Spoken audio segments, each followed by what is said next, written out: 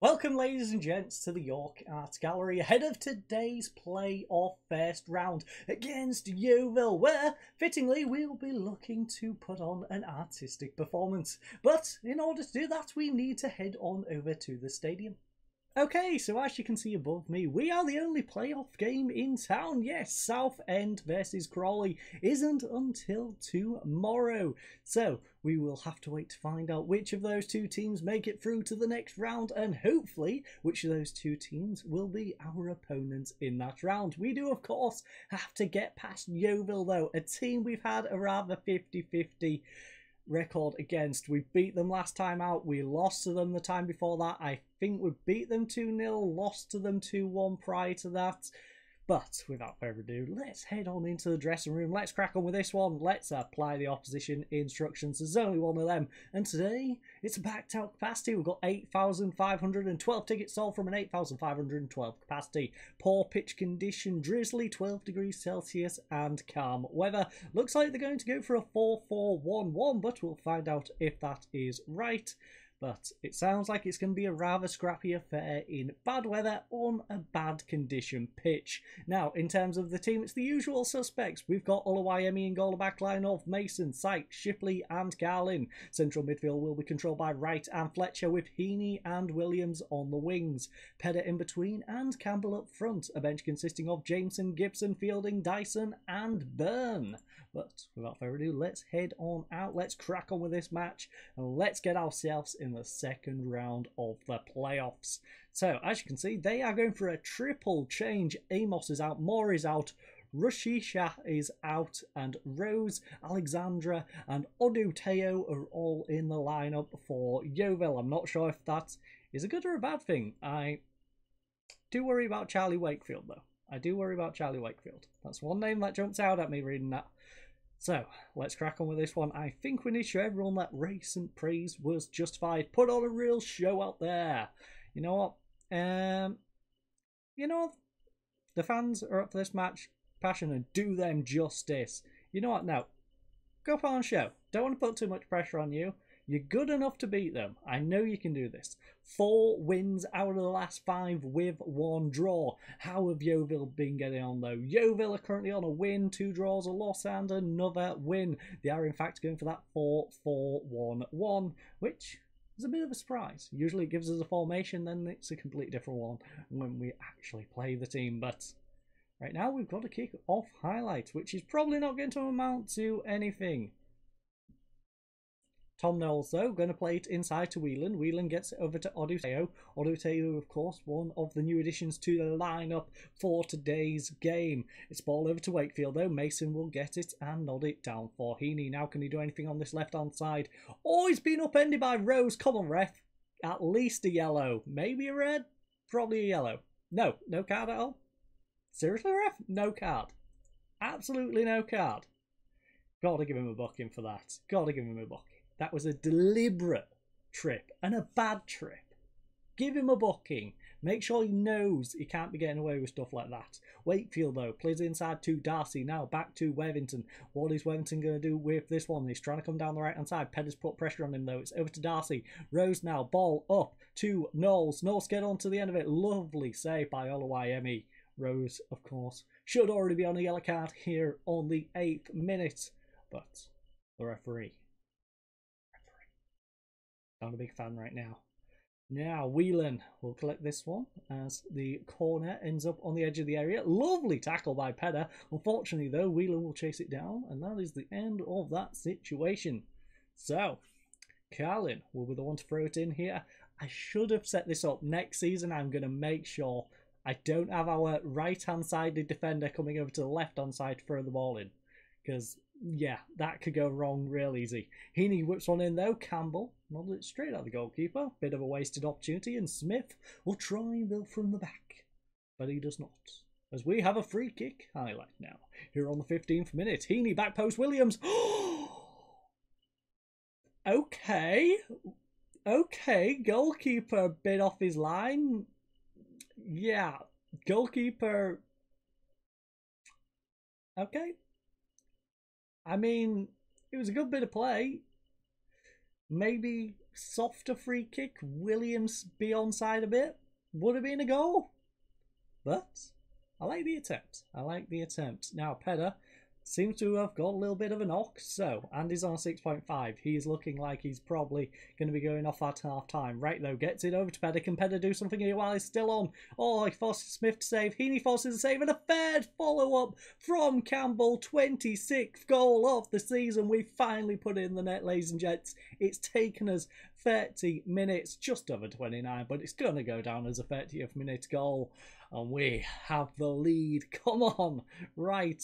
Gets it over to Pedder. Pedder forces a save. Heaney then forces a save from the tight angle. And then Campbell finally pokes it home for us to gain this lead. Now, how are they getting on there? Centre back is Okay, they've got one doing well and one doing bad. Heaney whips one over. Campbell upended. Come on, he's got to go off for that ref. Yes, come on. Mitchell Rose, by the way, got substituted for them. They are now going for a 4 3 1 1. They're deciding to drop a midfielder. Now they are down to 10 men. And it's a ball in to Pedder. Now Pedder's going to play it back to Sykes. Sykes over to Wright, Wright up to Fletcher. What's Fletcher going to do with this one? He tries the ball over the top. Wilkins gets it. He nods it forward. It goes back to Mason though. Mason's going to play it inside to Wright. Now up to Campbell. Campbell's got Heaney over on the overlap. Fletcher's going to go to him. He's found Heaney. Heaney one over the goalkeeper. He's got a defender closing him down though. Heaney got a tight angle. Oh, nice bit of turning from Heaney. Won himself a penalty. And Worthington, you're on a yellow card. You want to be careful. You could go down to nine men. But can we put away the penalty? Can Campbell get his brace? Of course, Campbell can get his brace. Campbell with a second goal of the game, 27th of the season, slots the penalty home. And we seem to be breezing our way through to the next round of the playoffs. This is nice. Let's have another look at this one.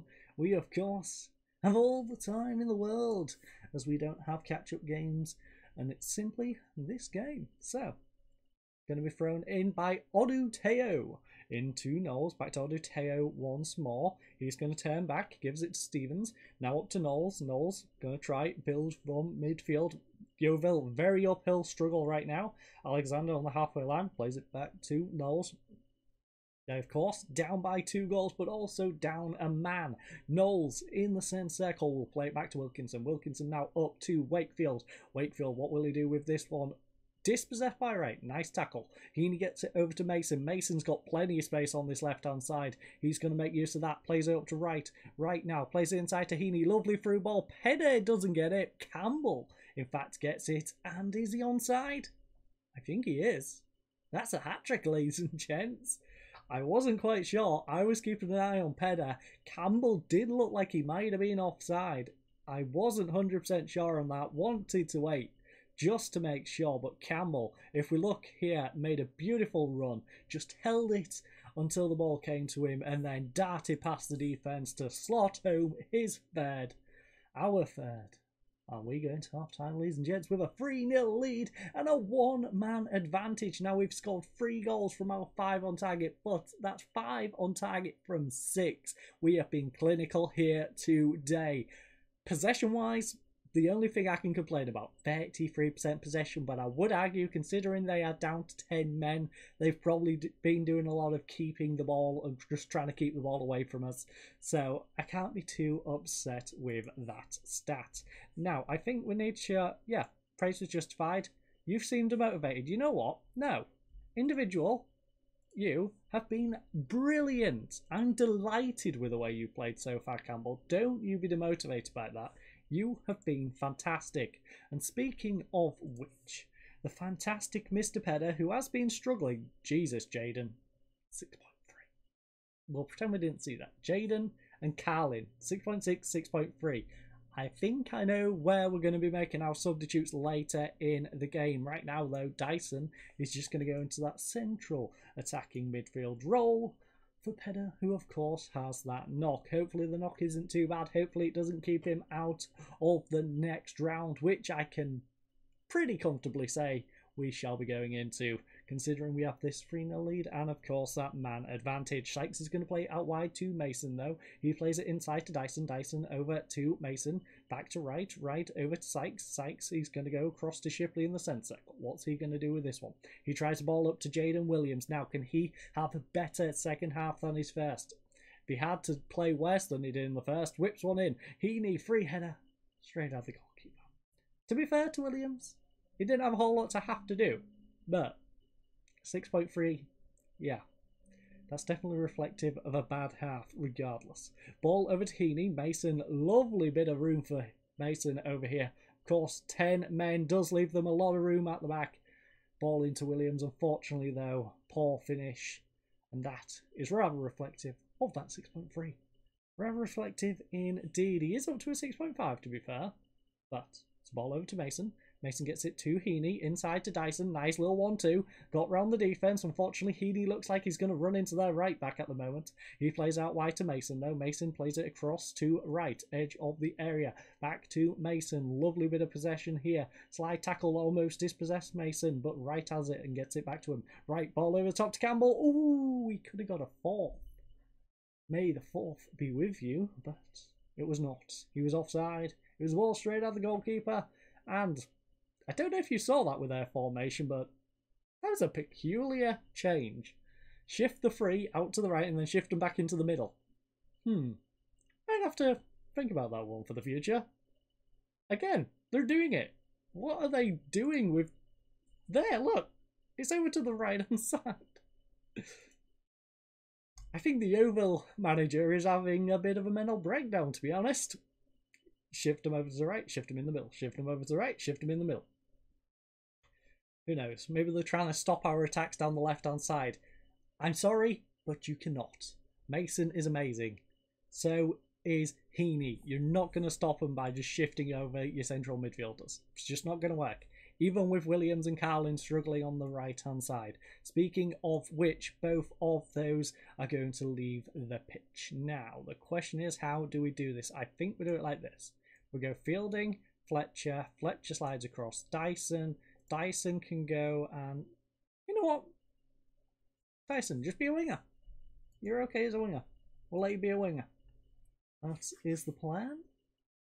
And Mesa will just play it up to Fletcher now. Heaney. Heaney's going to run inside. Ball up to Dyson. Through ball to Campbell. Come on, Campbell. Get a fourth. Yes. Come on, Campbell. Fourth goal of the game. Both for Campbell and, of course, ourselves. 9.3 from Campbell, by the way. He is having a great game.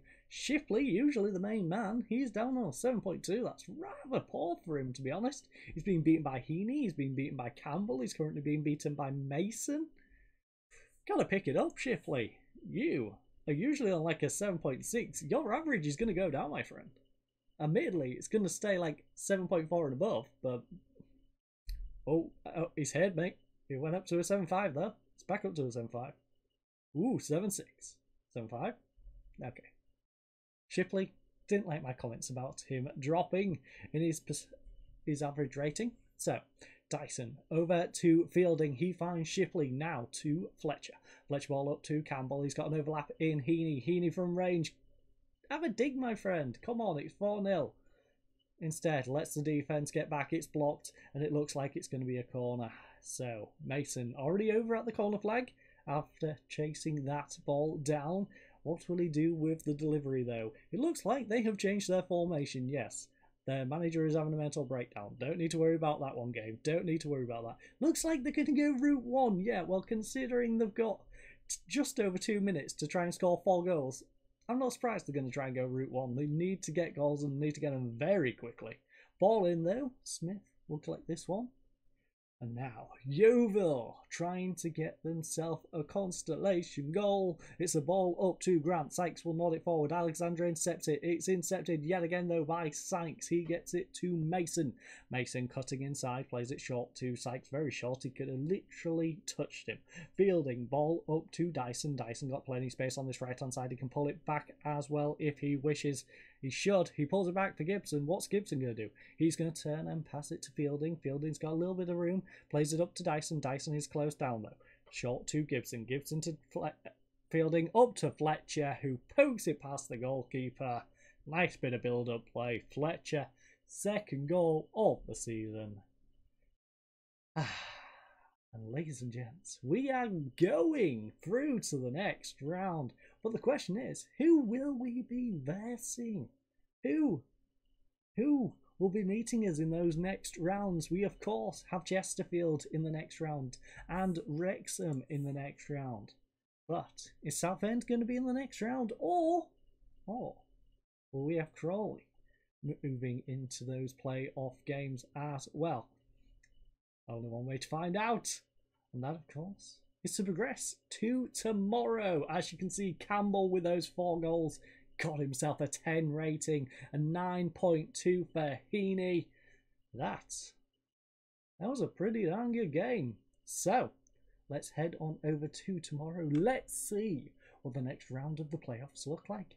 And so, after picking up a 1 0 victory, Southend secured their place in the semi finals of the playoffs, joining, of course, Wrexham, Chesterfield, and ourselves in this draw. But the question is, who will get who? So, let's view the draw. The first team out of the hat will be Wrexham. The team, I would argue, is probably the one to avoid although we have been pretty damn good against Wrexham. Chesterfield is probably our bogey team out of these three. And the team that shall be versus Wrexham is... Okay, I'll take it. It's technically the hardest game of the three. But, like I said, we've had a good record against Wrexham. We are heading back away against Wrexham. And of course, Chesterfield shall host Southend. So, our next game is pretty darn soon. It's on the 30th of April, 28th today. So, two days' time.